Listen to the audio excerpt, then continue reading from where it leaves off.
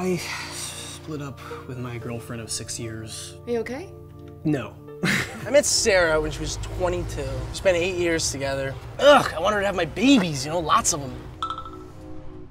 I mean, Jesus, you must get how I feel, right? So you didn't you didn't sign this? I mean, I'm just, I'm still looking at him. How long have you had this? How many months? Several. I just hope you're doing well.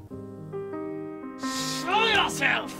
Then I shall relinquish the woman! Yes! What am I gonna talk about with her? You're overthinking it, right? We're both single. You remember what that's like, right? You're one act. That's right. That's right. Wow, little connection here. She seems to like you. Think so?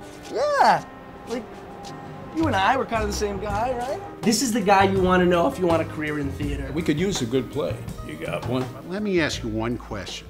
Are you scared of success? And you mourn over your marriage like it was everything to you.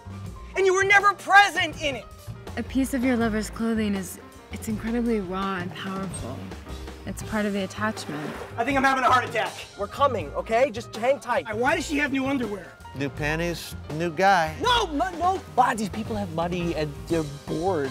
And they're married and they have their husbands there.